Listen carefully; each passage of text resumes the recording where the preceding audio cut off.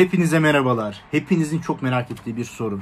Polonya'da dil sertifikası olmadan eee, kabul alabileceğim üniversiteler nelerdir? Çünkü yani ben de zamanında burada yüksek lisansa geldim. Ben de hani çok cefa çektim ve biliyorum hani dil sertifikası özellikle IELTS, TOEFL gibi eee, dil sertifikalarını almak gerçekten çok zor. Yani bir Amerikan vatandaşını bile o sınavları girdiğinde yani geçemiyor ya da iyi skorlar alamıyor. Gayet normal.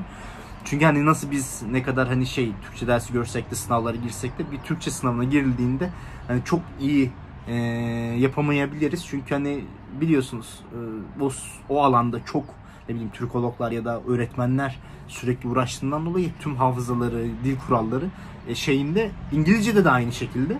Şimdi bu videomuza başlayacağız. Size detaylı olarak hem e, birkaç bu, bununla ilgili birkaç soruları hem de ayrıca hangi üniversiteler e, alıyor? 6 tane üniversite buldum. E, forumlardan, gruplardan, internetten araştırdım. E, bunları size sunacağım. Öncelikle videomuza başlamadan önce değerli vaktinizi ayırıp bu videoyu izledi- izlediğiniz için teşekkür ediyorum. Burada sosyal medya hesaplarımı bırakacağım.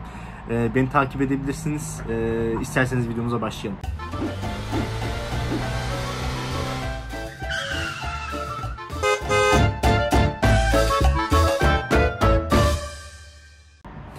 Şimdi arkadaşlar 6 tane üniversite var. 6 tane üniversiteyi şimdi sayayım. Wrocław Teknik Üniversitesi, Politechnika Wrocławska diye geçiyor. Ee, Politechnika Warsz- Warszawska diye geçiyor. Yani Varşova Teknik Üniversitesi. Ya da Teknoloji Üniversitesi diyebilirsiniz. Varşova Üniversitesi. Jagiellon Üniversitesi bu Krakow'da bulunuyor. Buraya zaten adlarını yazacağım kendinize bakarsınız. Adam Mic- e, Mickiewicz Üniversitesi, AGH Üniversitesi, Sa- e, AGH University of Science and Technology diye geçiyor. Bilim ve Teknoloji Üniversitesi. Yani bu 6 üniversite şu an e, dil sertifikasız alıyor. Ama dil sertifikasız alıyor demek nedir? Şimdi direkt hop diye sizi almıyorlar maalesef ki. Üniversiteye başvurduğunuzda e, adım adım biliyorsunuz her üniversitenin online platformu bulunmakta. Yani belli bir bizdeki gibi hani mesela YÖK'e başvuruyorsunuz.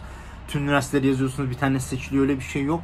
Burada her üniversitenin, üniversitenin kendi başvuru portalları bulunmakta veya e-mail üzerinden başvurmanız lazım. Hani bazılarının e-mail ile başvurabiliyorsunuz. Bazıları çok gelişmiş portalları var. Ne bileyim kullanıcı ismi yaratıyorsunuz, şifre yaratıyorsunuz. Orada adım adım her şeyi belgeleri, neleri şey yapmanız gerektiğini yazıyorsunuz, yüklüyorsunuz, yolluyorsunuz.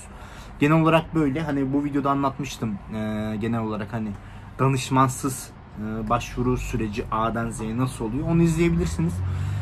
Onun haricinde e, bu mülakat süreci nasıl oluyor?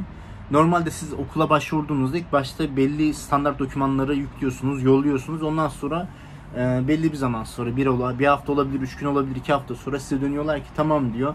Sizin işte atıyorum ki lise diplomanızı kontrol ettik. İşte e, derslerinize baktık. Hani bu bölümü seçebilirsiniz, uygunsunuz dedikten sonra sizi bir tane mülakata çağırıyorlar.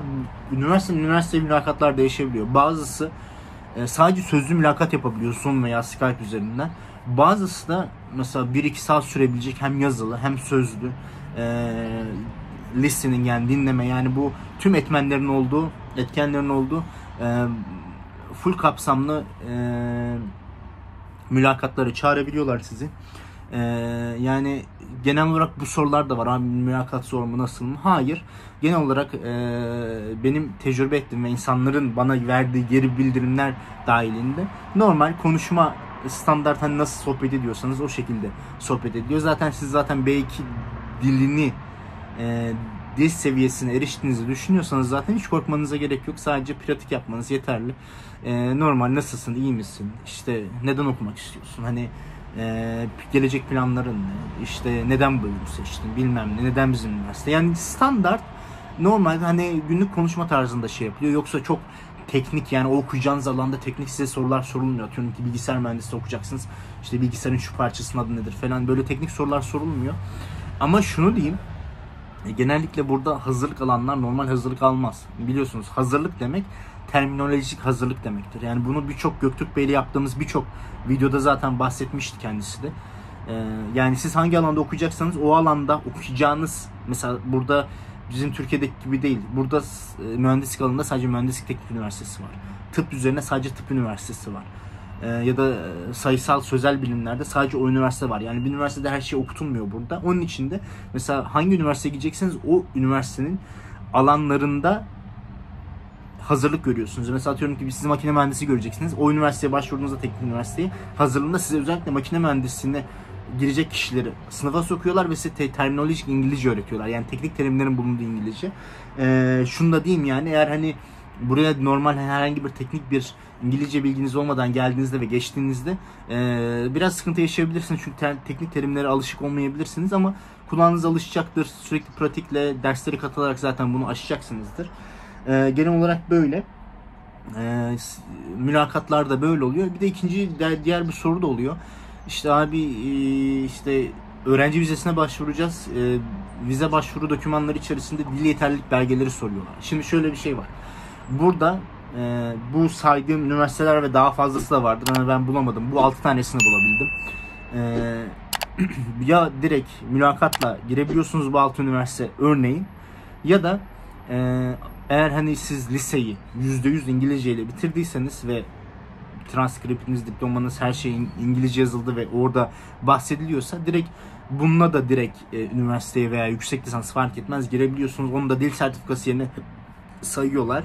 E, bazen üniversiteler dil sertifikanız olsa bile e, eğer hani yazışmalardan biraz İngilizcenizin kötü olduğunu şüphelenirlerse mülakatı da sokabiliyorlar. Bu inisiyatiflerine bağlı. E, yalnız şu diyeyim. Şu an e, dil sertifikası istemiyorlar ama bunun da sebebini de söyleyeyim.